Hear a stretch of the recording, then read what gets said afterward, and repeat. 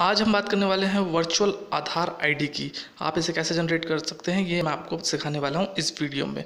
तो सबसे पहले हमें ओपन करनी है आधार की वेबसाइट जैसे ही आप इसमें टाइप करेंगे आधार या यू तो ये एक पेज ओपन करेगा। इसका फ़र्स्ट लिंक आप ओपन कर लीजिएगा तो आप आधार की वेबसाइट पर पहुँच जाएँगे।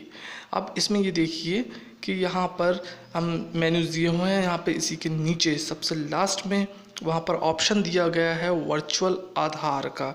अभी मैं इसको स्क्रॉल करके आपको दिखाता हूँ कि ये ऑप्शन कहाँ पर आएगा। आप जैसे ही इस ओपन करेंगे स्क्रॉल कीजिएगा। स्क्रॉल करने के बाद लास्ट में नीचे यहाँ पर दिखाई देगा virtual ID V I D generation ये है वर्चुअल आधार के लिए। इससे आप वर्चुअल आधार जनरेट कर सकते हैं। ये एक तरह की मास्किंग है। उसको ओरिजिनल आधार को छुपाने के लिए। अब यहाँ पे अपन डालेंगे आधार नंबर। जैसे कि मैं टाइप कर देता हूँ, मेरा आधार नंबर। अभी मैं टाइप कर रहा हूँ, आधार नंबर। ये आधार नंबर टाइप करने के बाद नीचे जो सिक्योरिटी कोड है, उसको टाइप करना रहेगा। अभी मैं ये टाइप कर देता हूँ। जैसे ही मैं सबमिट करूँगा तो ये एक ओटीपी सेंड करेगा मेरे रजिस्टर्ड मोबाइल नंबर पर। अब मेरे रजिस्टर्ड मोबाइल नंबर से मैं वो ओ टी यहाँ पर डालूँगा।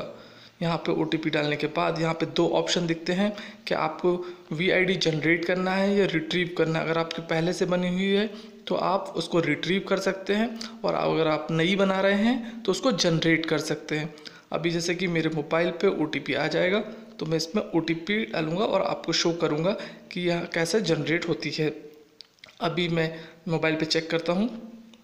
ये मोबाइल पर मेरा ओटीपी आ गया, मैं इसको इनपुट कर रहा हूँ। इनपुट करने के बाद देखिएगा, नीचे सबमिट बटन है। सबमिट बटन पर क्लिक करा और ये सबमिट बटन पर क्लिक करने के बाद यहाँ पे मैसेज आ गया कि your V I D number successfully generated and send to a registered mobile number अब मोबाइल पे मेरे को चेक करना रहेगा। मोबाइल पे अपन चेक कर लेते हैं कि कैसा होता है ये वर्चुअल आईडी इसमें क्या खास है और कैसा है?